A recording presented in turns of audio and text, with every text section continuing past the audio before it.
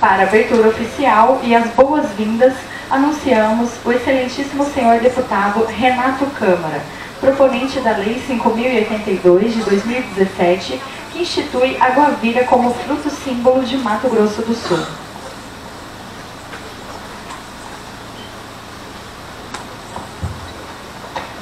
Boa tarde a todos.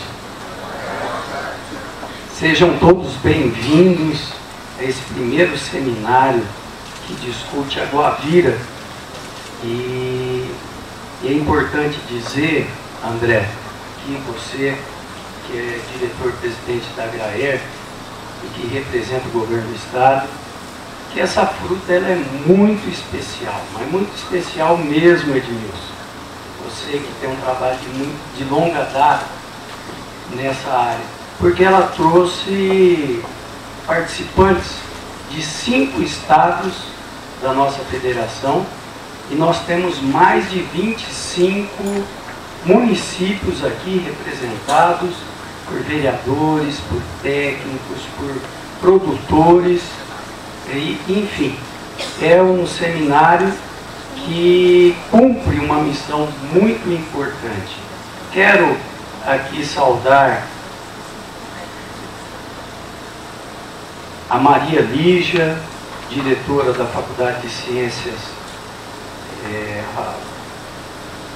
Farmácia, Farmacêuticas, Alimentos e Nutrição, também a Ana Tereza, que teve uma contribuição muito importante, Ana, nesse seminário, colocando todo o trabalho que a Fiocruz estava desenvolvendo sobre a Guavira e dali nós começamos a discutir a importância de fazer uma comunicação do, do diálogo, do debate de várias instituições que acabam fazendo o seu trabalho e não se conversando uma com outra no sentido de troca de experiências, saber exatamente o que estão fazendo no sentido do fortalecimento da Guavira.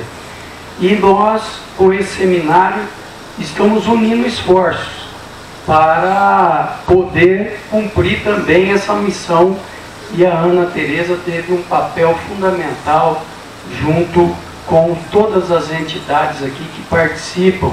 Eu quero agradecer ao Marcelo, pró-reitor de extensão da UFMS, que é um parceiro, que a UFMS tem também é, participado dessas discussões e quero aqui agradecer a presença de todos né?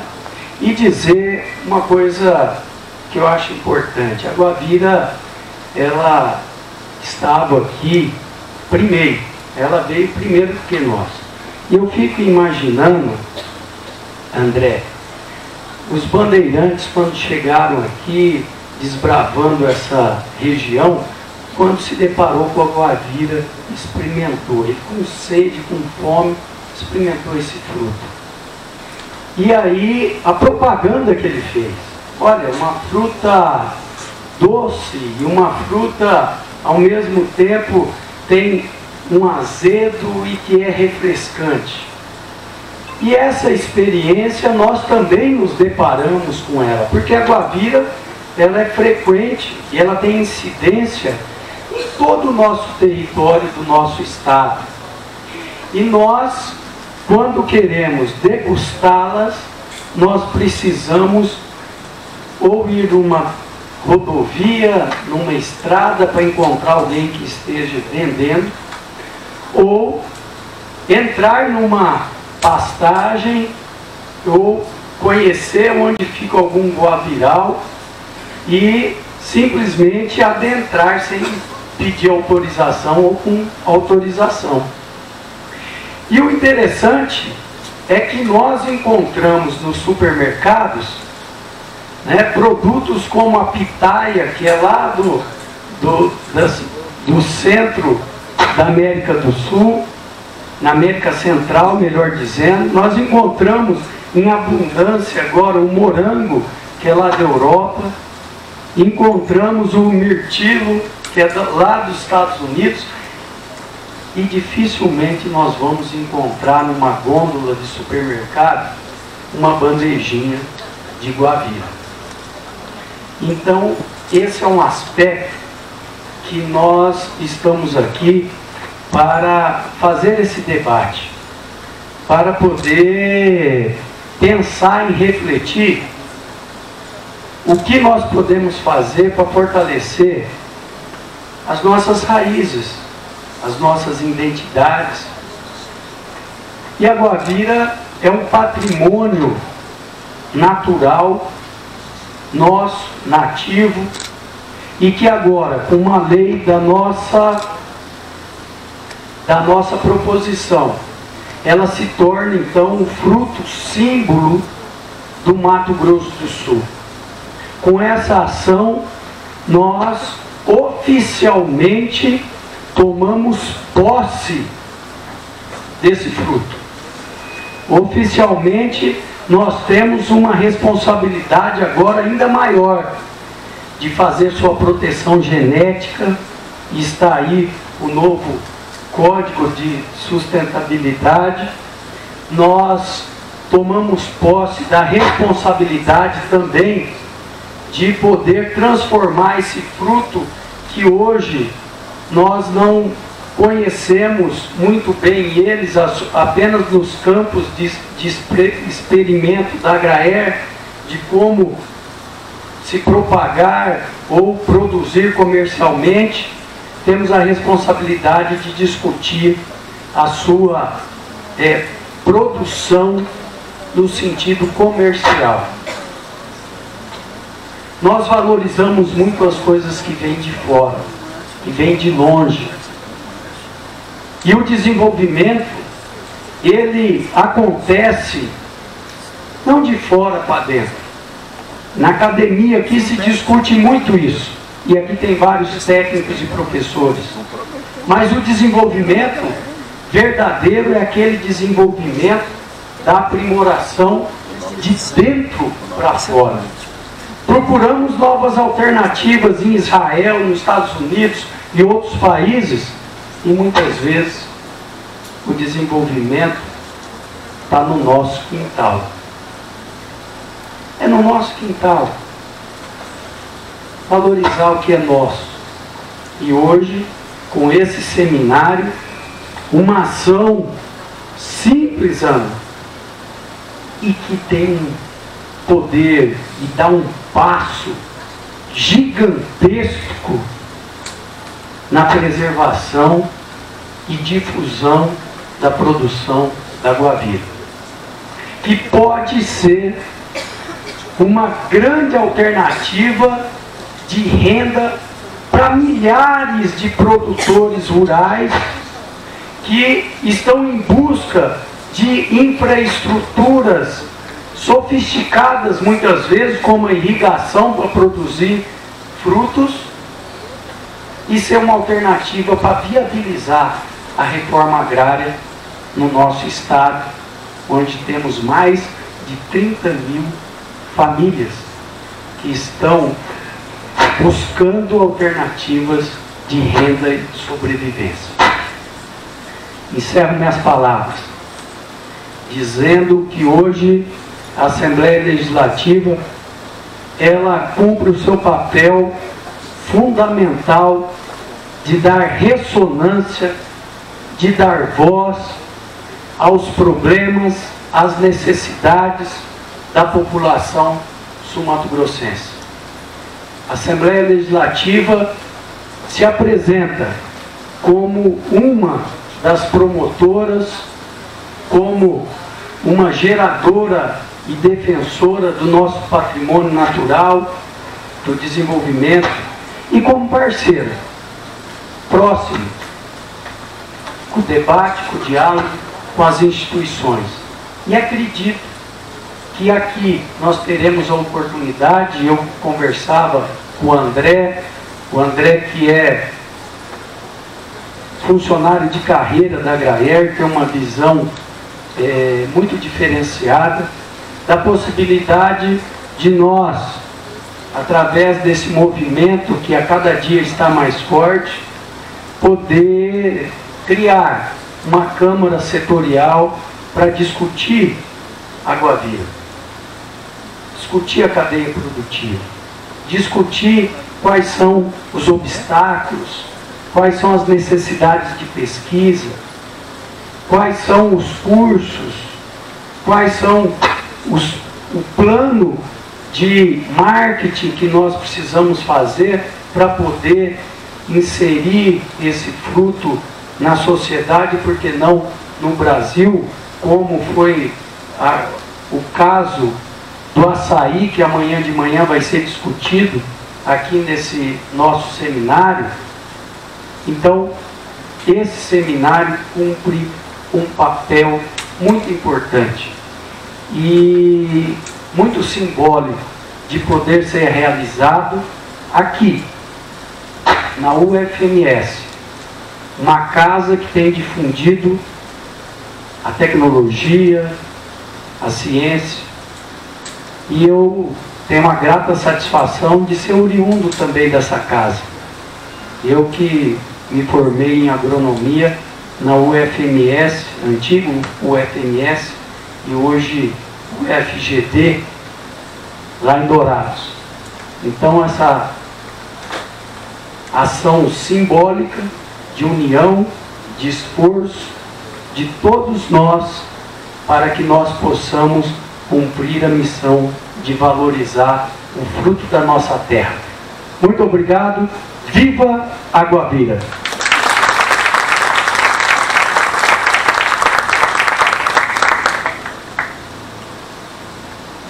Gostaria de convidar para fazer parte da nossa mesa professor doutor, magnífico reitor da UFMS, Marcelo Augusto Santos Turini.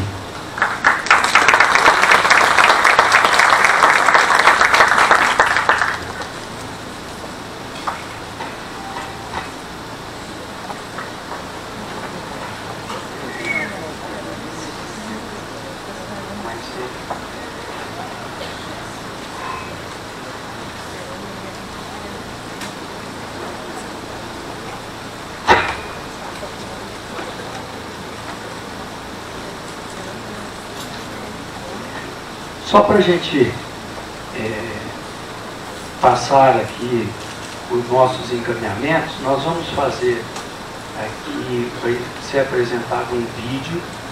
Nós teremos uma breve saudação aqui das, das instituições e depois já vamos iniciar é, as palestras do dia de hoje e também os debates. Então, gostaria aqui de já, eh, dando um encaminhamento, tem um vídeo primeiro, mas eu acho melhor a gente já fazer a, as, as saudações, convidar o nosso anfitrião que chegou eh, a tempo, né, o, o magnífico reitor Marcelo, para fazer as suas saudações.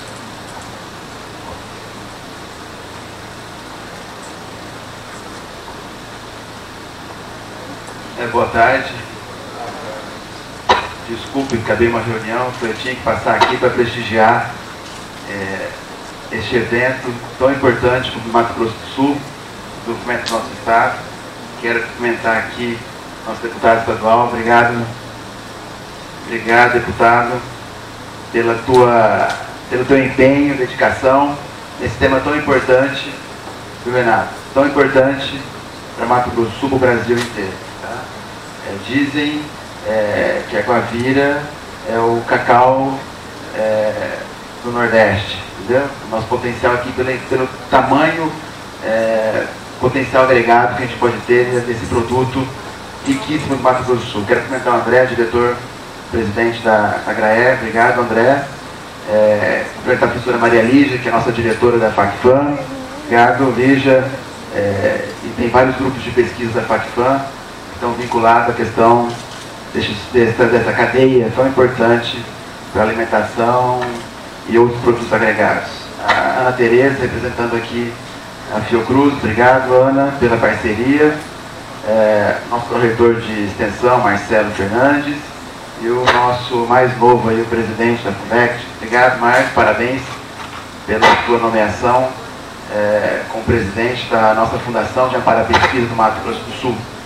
É, todo Estado tem uma fundação e sem a parceria da fundação do Estado é impossível é, realizar eventos é, técnicos, científicos, é, porque é questão de demanda e questão de movimento do Estado. Parabéns pelo teu apoio e obrigado. É, boa sorte no evento, é, em nome da universidade, né, Maria Lígia e Marcelo Fernandes, nossos pesquisadores que estão aqui, nossos alunos, nossos técnicos, nossos colaboradores.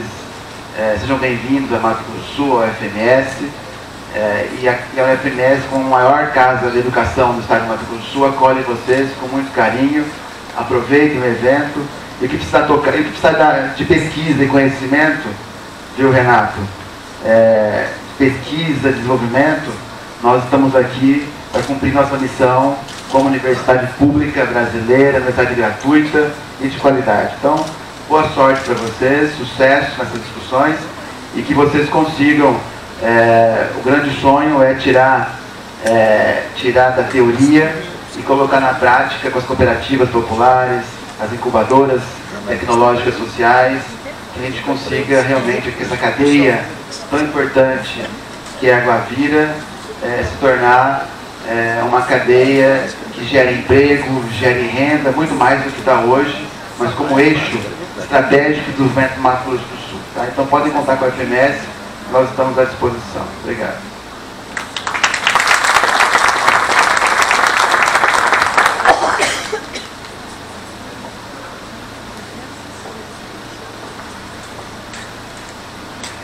Gostaria de passar a palavra para Ana Tereza Gomes Guerreiro,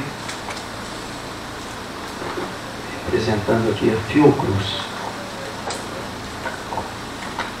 Boa tarde a todos, saúdo todos da mesa e eu quero dizer que é uma satisfação a, ver esse evento aqui. É, foram meses né, de construção e eu quero fazer um agradecimento especial aqui para a Ana Cristina Jala, da Agraer, para Raquel Pires, da UFMS, para o Messias, Sebastião Messias da Assembleia Legislativa, para o, o, professor Paulo Robson, da UFMS, e me desculpe se eu esqueci de mais alguém, tem tantos outros colegas que nos ajudaram, mas de fato esses estiveram à frente, e também o Vitor do Sebrae, que foi assim uma luta constante, né? várias reuniões e que agora que a gente vê o fruto disso. Bem, mas em nome da Fiocruz, como uma, uma instituição de ciência e tecnologia, cuja missão é viabilizar é, soluções tecnológicas e científicas para a melhoria, a melhoria da qualidade de vida e para melhores condições de saúde da população, eu agradeço aqui e parabenizo mais uma vez o deputado Renato Câmara e a Assembleia e o Estado por ter é, colaborado com a aprovação desta lei. E espero que em breve nós literalmente tenhamos muitos frutos vindos desse evento. E quero só complementar que, assim como o Renato, eu também sou filha da casa. Eu me formei, me graduei aqui na UFMS em farmácia bioquímica, então para mim também é uma, uma gratidão estar aqui nessa, nessa casa. Bom, bom evento a todos. Passo a palavra agora para o senhor Márcio de Araújo Pereira, diretor-presidente da Fundação e Apoio ao Desenvolvimento do Ensino, Ciência e Tecnologia, FUNDECT. Excelentíssimo senhor deputado Renato Câmara, meu amigo magnífico reitor Marcelo Torini, nossa conselheira Maria Lídia, da, da Fundect, Ana, representando da Fiocruz, meu amigo André, repórter, diretor-presidente da, da nosso colega professor Marcelo, o reitor de extensão da UFMS, meus caros colegas, Para mim, falar de Boa é remeter ao emocional, porque eu morei seis anos no Pantanal, então, como criança, de 6 a 12 anos, eu sei o que é tratar Boa Vida, eu sei o que é contato com a Boa. Quando falaram desse evento para mim, foi. É, eu falo com emoção porque é a emoção de uma vida. E ver a Boa Vida reconhecida nesse momento como uma fruta do Estado, como, que vai representar o símbolo do Estado, nada mais justo com, com, essa, com essa nossa fruta especial. Ela é especial, então para mim é, é, remete a isso. E nesse momento também falar que a Fundex está observando esses movimentos também, nós já temos, tivemos estudos, é, financiados estudos é, sobre a Boa Vida também, tanto pelo, pelo pesquisador nosso, o, o, o via, via Fundex também, o professor Rui Paulo, esteve um projeto financiado para o estudo da Boa Vida, também da Golcaiúva, outro, outro fruto do Cerrado nosso importante.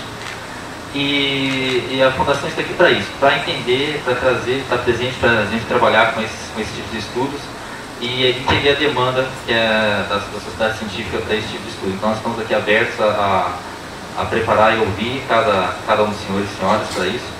Queria também fazer um, parabenizar o Edmilson Volpe e a, e a Ana também, o Edmilson, olha o Edmilson, vejo o trabalho dele da Guavira, como fui pesquisador da HL, eu sei o carinho que ele tem pela, pela, pela, pela Guavira, então é a gente, a gente sabe que finalmente agora vamos colocar em prática algo que teria sido colocado em ação há muito tempo. E pensar no que o, o colega, o que o deputado falou em relação à comercialização, mix de marketing, toda a cadeia, toda a logística, tudo isso, como é, como é que a gente faz para chegar ao consumidor essa fruta maravilhosa também, não só de alimento, mas também com condições de estudos para a indústria farmacêutica, para várias áreas importantes. Então, é muito, muito honrado estar presente nessa mesa hoje. Obrigado.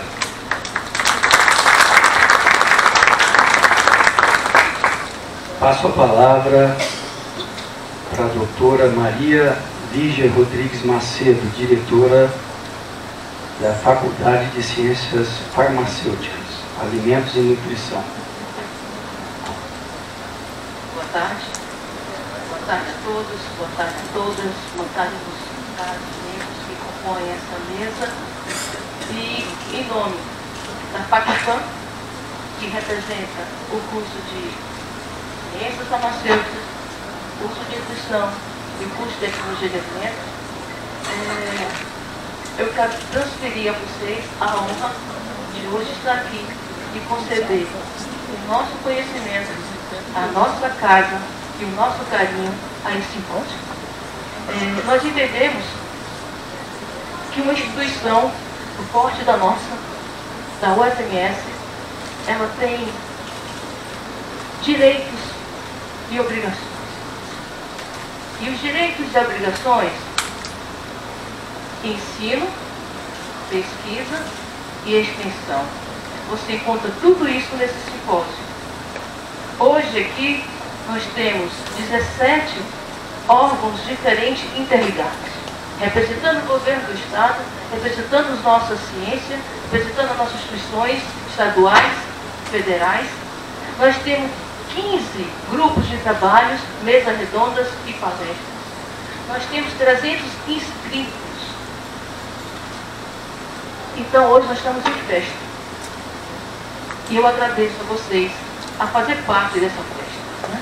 E essa festa só faz sentido porque nós temos uma coisa que a gente chama assim, de determinação. Em que sentido, Lígia? O ensino ele tem que virar pesquisa, ele tem que virar extensão. Essa extensão e essa pesquisa tem que chegar além daqui do mundo da UFMS, além do mundo das universidades públicas, em particulares e privadas. E aqui nós produtores, e aqui estão representados.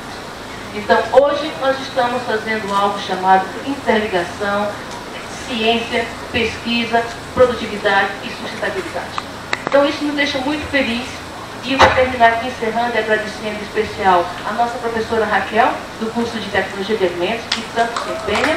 Tá? É uma pessoa que está muito ligada nisso. Também nós temos professores do IBIL, que eu não quero cometer. É, é ruim citar nomes, mas, por exemplo, nós temos Orieta aqui na minha frente, como esquecer, o professor Paulo e os outros professores que, por um momento, agora não estão, porque estão só outras atividades. E dizer para vocês o seguinte: aproveitem. Aproveitem aproveite o simpósio. Aproveite esse conhecimento está sendo gerado para frutificar. Pegue o gosto excêntrico que a vida tem, o gosto refrescante que ela tem, e deixe permear dentro de nós, para que a gente daqui pouco diferente de como nós entramos. Um bom evento, um sucesso, e que a gente continue fazendo isso.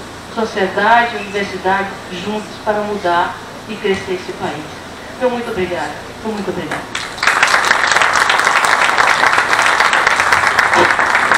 Antes de passar a palavra para o cerimonial conduzir os trabalhos, gostaria de fazer e registrar o agradecimento a Raquel, a Ana, a Jala, ao Messias, ao Vitor e todos que se dedicaram né, para que esse simpósio acontecesse. Às vezes a gente olha e vê as coisas acontecendo, parece que tudo aconteceu naturalmente, né? Mas teve um, uma grande dose de trabalho, de empenho, de dedicação, de construção de parcerias para que pudesse é, acontecer. Antes do André falar, eu gostaria de agradecer também aqui o Mauro Roberto de Moraes, que é analista do SEBRAE do Pará, que é o nosso palestrante amanhã, que vai fazer um relato de caso é, sobre o açaí, né, como foi construído toda essa dinâmica do fortalecimento do açaí. Obrigado, Mauro, pela presença que já está aqui. E agora, a última fala, representando o governo do Estado, diretor-presidente da Agraer, André Borges. Boa tarde a todos. Quero inicialmente cumprimentar aqui o deputado Renato Câmara, dar os parabéns novamente, Renato, pela brilhante ideia de propor a lei, né? muito bem aceita, acho, por toda a comunidade. Cumprimentar o magnífico reitor Marcelo Augusto, que nos abre aqui a sua casa, Marcelo, obrigado. Meu amigo Márcio, Maria Lígia, a Ana Tereza da Fiocruz e o Marcelo.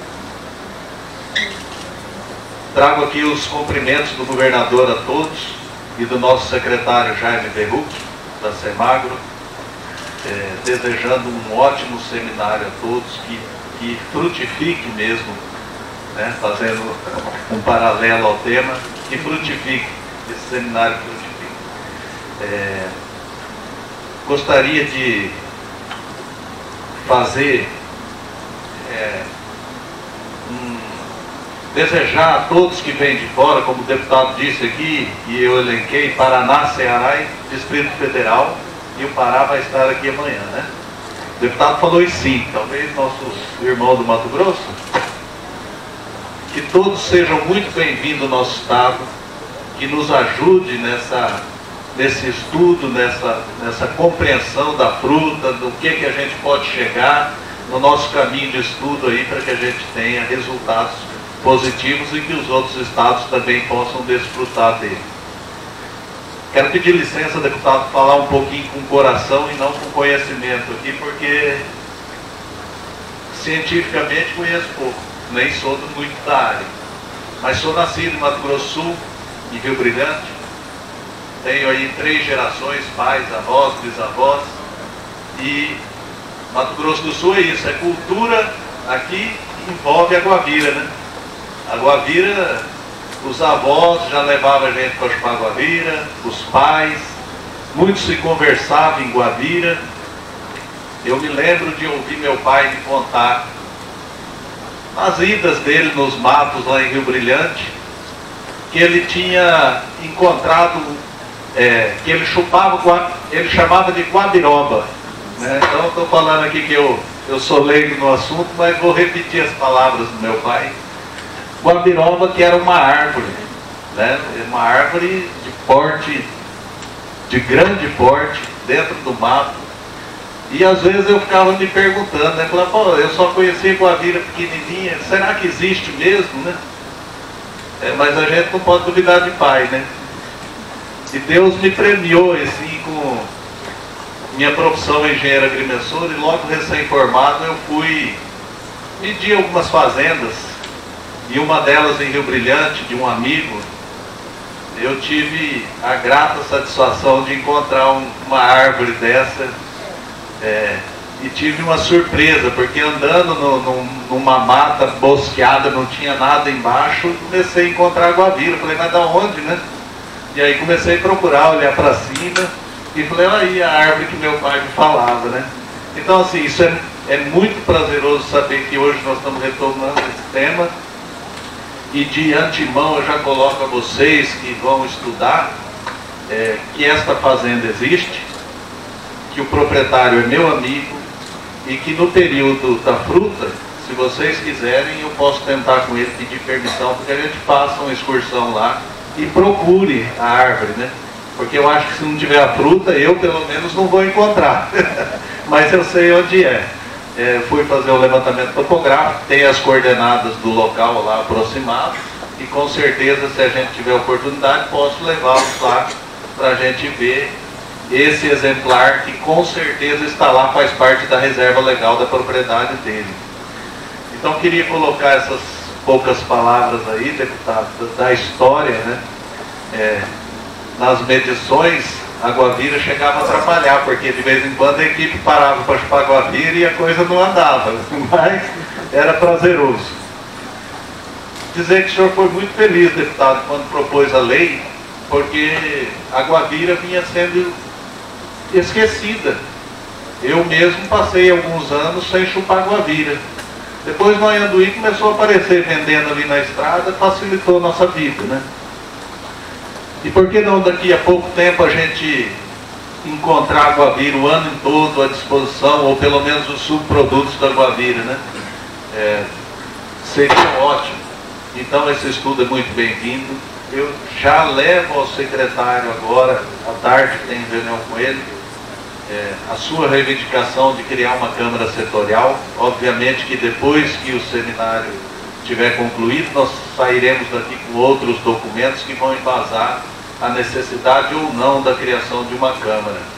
Mas com certeza eu vou levar já a ideia para o secretário para que ele já tenha conhecimento dessa propositura sua.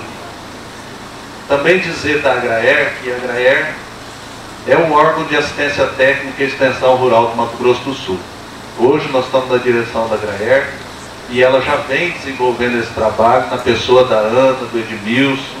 Em nome de vocês eu cumprimento todos os técnicos da Agraer, tá? todas as pessoas, assim como os demais parceiros aí, que não são poucos, a gente olhando aqui né, o prospecto aqui da capa, a gente vê quanta instituição está presente aqui e interessada no tema.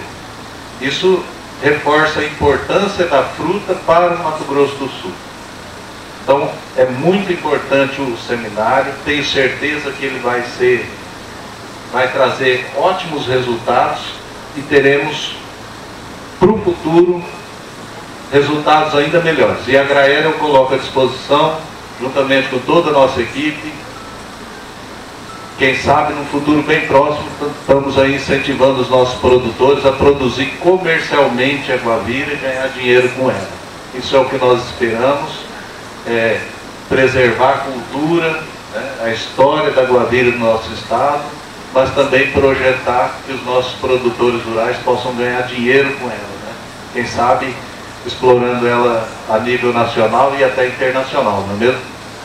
Desejo a todos um ótimo trabalho, um ótimo seminário. Quero deixar à disposição a Graer. Ficamos aqui representados o seminário inteiro. Eu não estarei, mas com certeza a Graer se faz presente. Obrigado a todos e bom trabalho.